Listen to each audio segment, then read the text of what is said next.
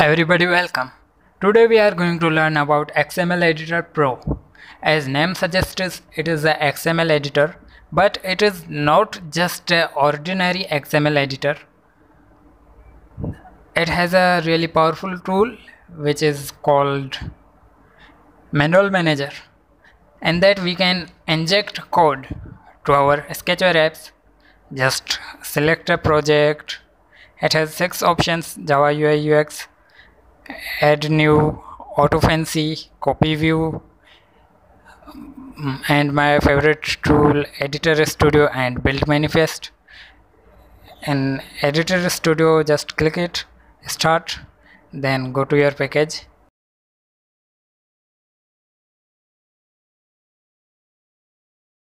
Compile it. It will start capturing once it captured code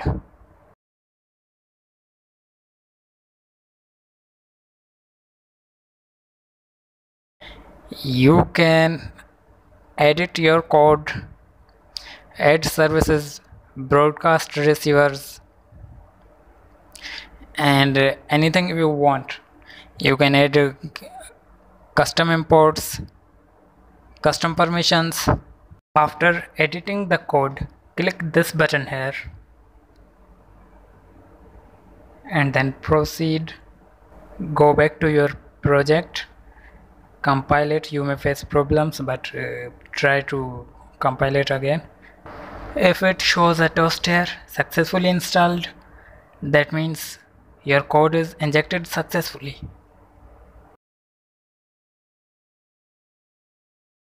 For another example we have a new project here completely empty. This is the code that we have just captured. It is useless for me so I want to delete it. You can solely capture manifest only if you don't want to edit complete code and don't want to take risk. First you have to select manifest from here and then press locate. If you haven't compiled your project project even once it will give you an error.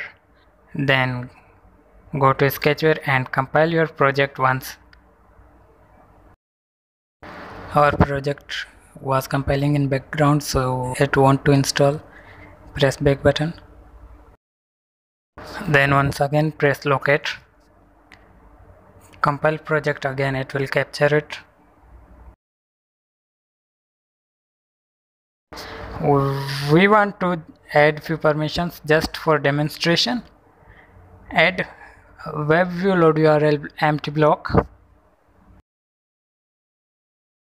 In our source code if you navigate to manifest you can see there are two permissions.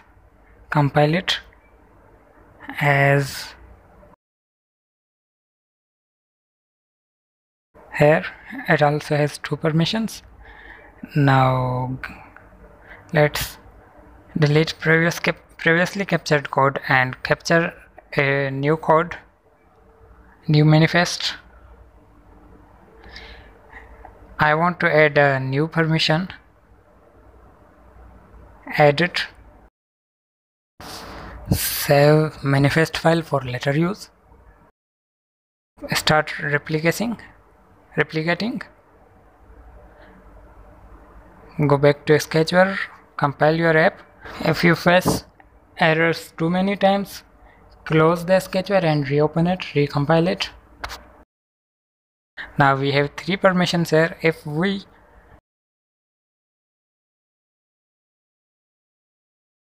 cancel replicating and then compile it again we have two permissions. That way you can